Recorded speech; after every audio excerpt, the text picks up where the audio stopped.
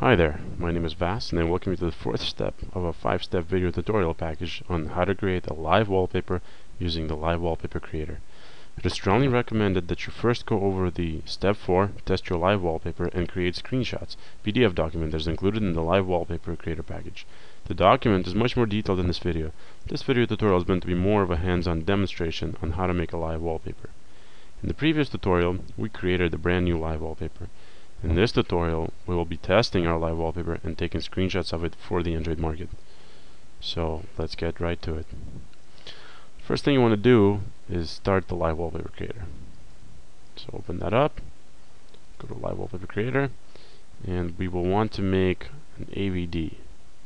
To do that, go to tools, and then right here you see the Android tools section. We want to launch the AVD manager. So as soon as you click the button, the AVD manager comes up. So here, what you want to do is create a brand new AVD.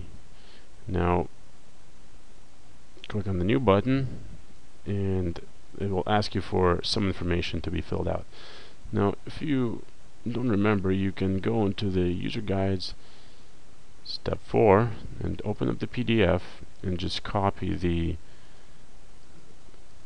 the configuration straight out of it. So we'll name it WVGA854.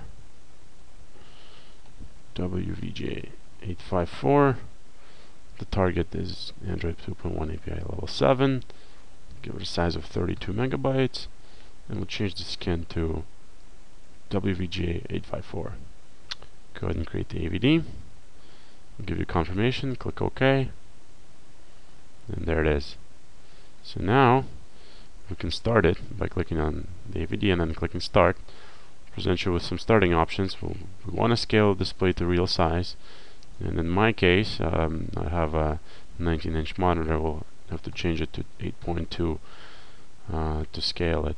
Now if you ever want to wipe your um, if you want to ever want to start a fresh uh, new instance of the AVD in case you've been testing a lot of applications and you know you've filled the size of the um, the size of the emulator and you want to clean it up you can click on this wipe user data checkbox and it will clean everything up. But ours is uh, clean already so we'll just uncheck that and click launch. Now just wait for it to start.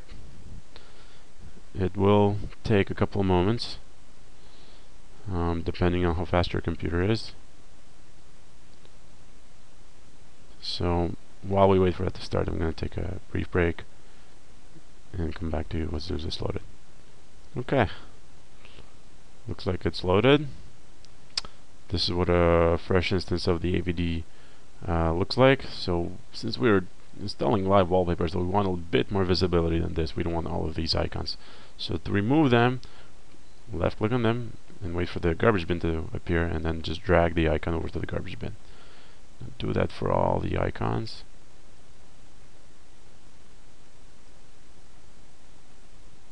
Like so and we'll get rid of the Google bar as well.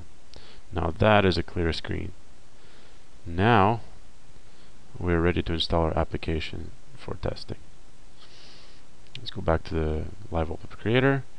Right click on the application that we made Leaves of Autumn and you can install either the full version or the free version. We'll install the full version. Now just wait for it to install. It will take um, maybe 15 to 20 seconds. Uh, if you don't have the AVD running when you try to install it, nothing will happen. And if you try to test it too soon, then it might not appear. So we'll just give it a couple moments.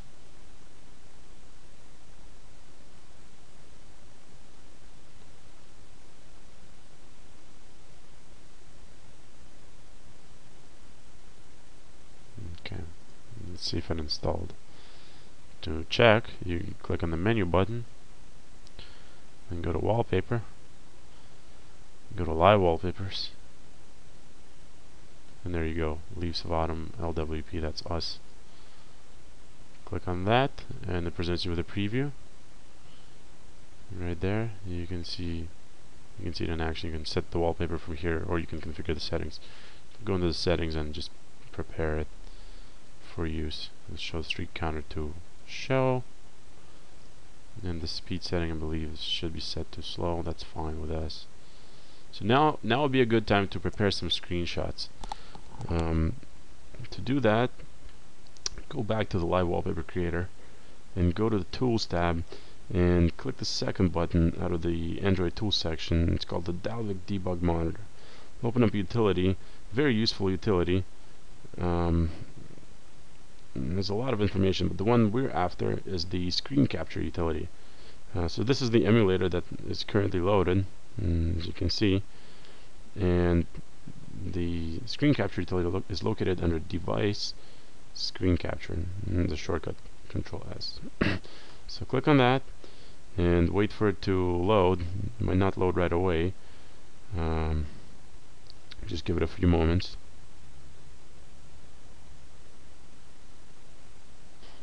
and there's our first screenshot. So we can save that. Good practice is to save it. So good practice would be to save it in the archive folder. And if you go to desktop WP creator archive dig down all the way leaves of autumn LWP and go into images.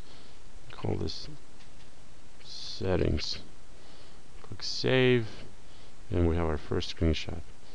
Now we want to take some more screenshots. And uh, click back. And set the wallpaper. And just wait for the leaves to fall to get a, a nice view of the live wallpaper. And click refresh. And we'll save the next screenshot called S1 and a good idea would be to show the user what happens once you start clicking on the icons.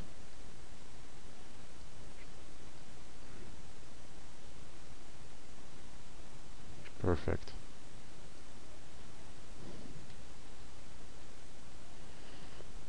Now that's done we can close the screen capture utility and the Dalvik debug one unless you want to take more screenshots but that's enough for for us. You can go ahead and test the application some more. Uh, change the speeds if you wish. You can you can change the speeds by you know, menu, wallpaper, configure, and then you got more settings. We'll set ours to fast, so you can see what it looks like. And there you go. Now this all looks much much smoother on the actual device. It's a little bit um, no not as smooth it's a little choppy on the on the emulator but on on the actual Android device it is uh, uh, a much more polished live wallpaper. So now that we're done pretty much concludes the this video tutorial. Uh, thank you for being with me and I hope to see you in the next video. Step 5 publish your live wallpaper to the Android market